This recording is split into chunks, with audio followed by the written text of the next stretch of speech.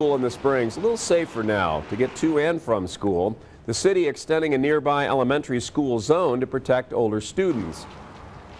Last month, we told you the city hadn't added any new school zones in a year, despite saying it would evaluate the need for more.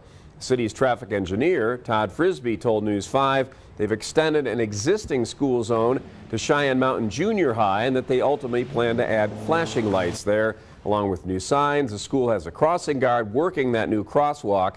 Frisbie says they're also adding a crossing signal south of Cheyenne Mountain High School there at Cresta Road and Levita Way, which will be active in a few weeks.